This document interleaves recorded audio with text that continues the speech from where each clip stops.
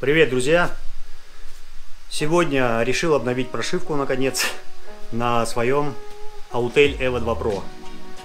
Процедура эта очень простая, и о том, как это делать, вы узнаете в этом ролике. Поехали!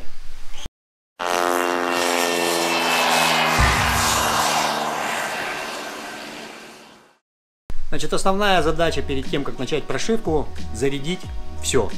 Зарядить дрон, зарядить пульт и зарядить ваш смартфон, с которого вы будете непосредственно подключаться и производить саму процедуру прошивки.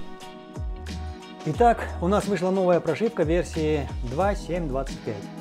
Какие улучшения и изменения в нее внесены? Добавлены интеллектуальные режимы панорамной съемки в форматах портрет, пейзаж, широкий угол с возможностью сшивания фотографий, чего не было раньше, и режим сфера без возможности сшивки. Добавлена поддержка Enterip RTK. Это для геодезистов полезная фишка. Для серии EVO 2 RTK нас она не касается. Поддержка радиометрического сенсора, тоже мимо. Добавлена возможность настройки домашней точки. Вот это полезная опция.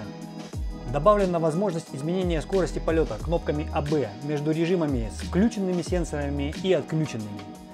Ну а дальше пошли багфиксы и разного рода оптимизации. Оптимизация уведомлений о бесполетных зонах, более плавная регулировка старта и остановки подвеса камеры, добавлена регулировка чувствительности с поддержкой максимально плавного движения подвеса камеры, ну и стандартная система GPS-координат VGS-84. На этом, пожалуй, и все. Но это очень приличные изменения в лучшую сторону. Как полностью все зарядили, подключаете все и вперед.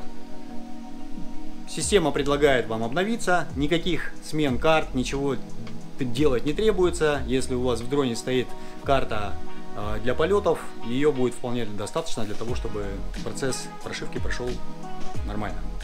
Не обязательно дрон разбирать полностью, раскладывать в полетное положение. Достаточно запустить его просто в таком виде. Главное снять с гимбала защиту подвеса, чтобы он мог проинициализироваться правильным образом.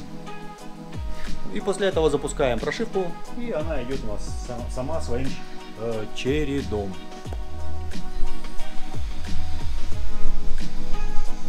О, кнопочка появилась, скачалось все, и кнопочка появилась старт апдейт.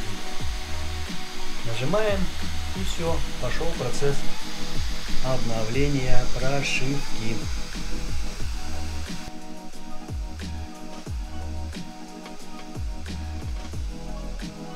После того, как закачка программного обеспечения у нас прошла, начинается процесс прошивки. Притом начинается процесс прошивки сразу и пульта, и дрона.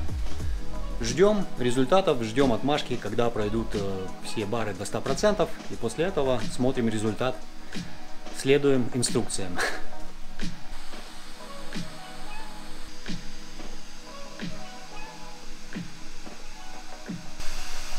Первым закончил обновляться у нас дрон.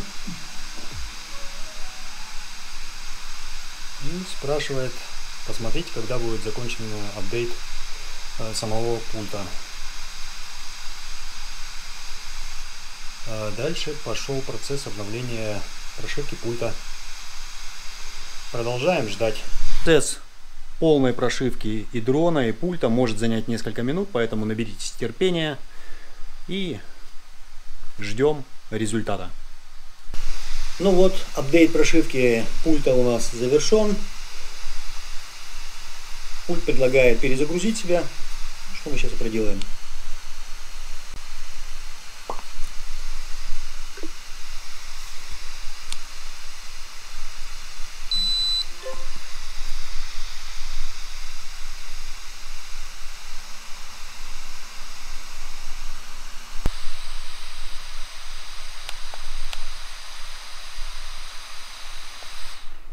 Да-да, шум на протяжении всего видео это не мой говенный микрофон, который, надо сказать, очень неплох на самом деле, а шум от работы внутренних вентиляторов этого дрона.